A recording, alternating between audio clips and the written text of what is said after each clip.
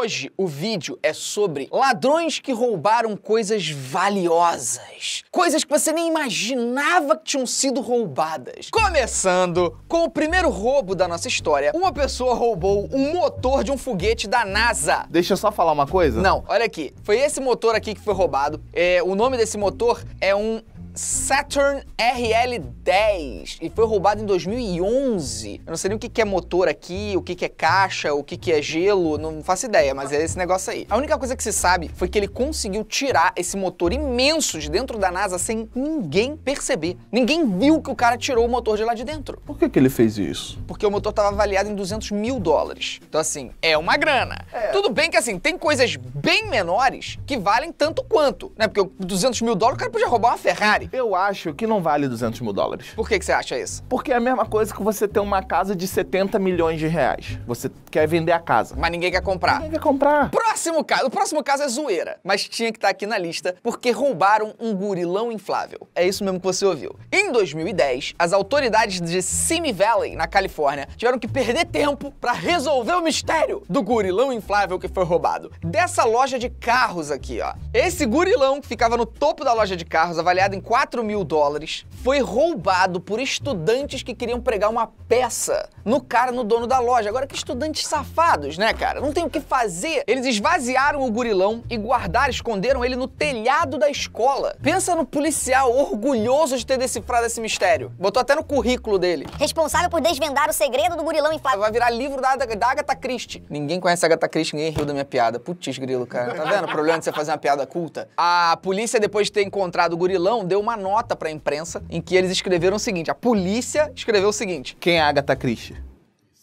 É, foi isso que a polícia escreveu. Não, vai a pergunta. Foi a pergunta. Você quer saber quem é a Agatha Christie, né? É a irmã de Jesus Christie. a polícia falou pra imprensa sobre o gurilão. Gorila encontrado. Saiu na... Cara, saiu na, na imprensa, mano. Olha isso.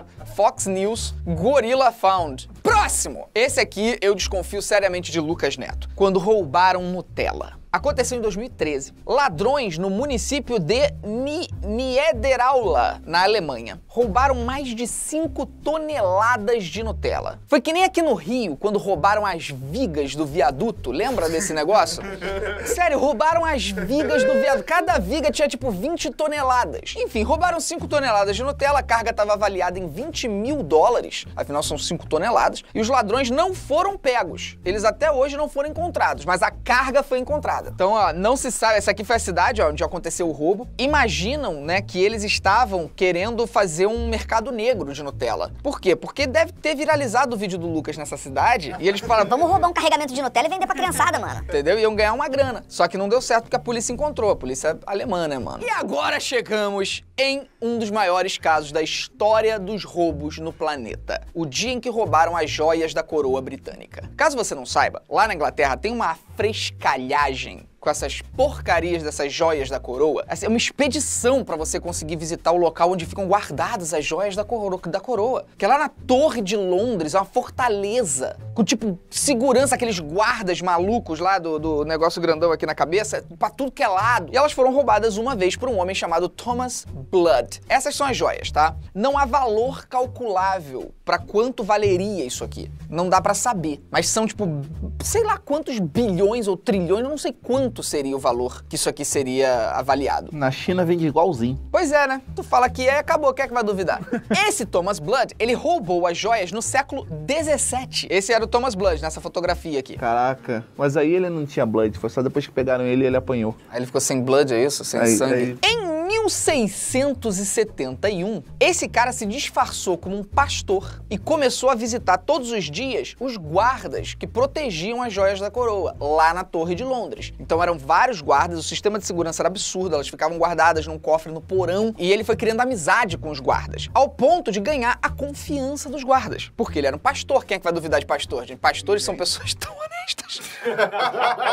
Um dia, ele convenceu um guarda a deixá-lo ver pessoalmente as joias da coroa. E quando o guarda abriu lá o cofre, ele pau! Nocauteou o guarda, o guarda desmaiou, ele roubou as joias e rapou fora. Porém, não durou muito tempo, gente. Ele foi capturado poucas horas depois. Poucas horas. Como é que pode, né? Sabe quem interrogou ele? O próprio rei. O rei que na época era o rei Charles. Olha, eu achei que o rei Charles era o, príncipe Charles agora. Ele vai virar rei Charles II, talvez, ou terceiro, talvez. terceiro. O rei Charles entrevistou, né, interrogou o ladrão e achou incrível. Ele gostou do cara. Na época, no século XVII, século XVII, não era muito valiosa as joias da coroa ainda. Elas eram valiosas, óbvio. Mas não era tipo, ó, que nem é hoje em dia, entendeu? Que hoje em dia você vai lá, meu Deus do céu. E aí, o rei gostou tanto do assaltante, achou tão criativo que ele tenha feito tudo isso, que ele perdoou o Blood, não foi preso e ele ganhou uma recompensa. É? Ele passou a ganhar 500 libras ao ano. Por quê?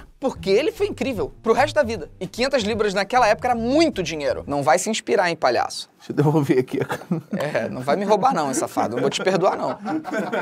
E chegamos à nossa última história. O dia em que a Mona Lisa foi roubada.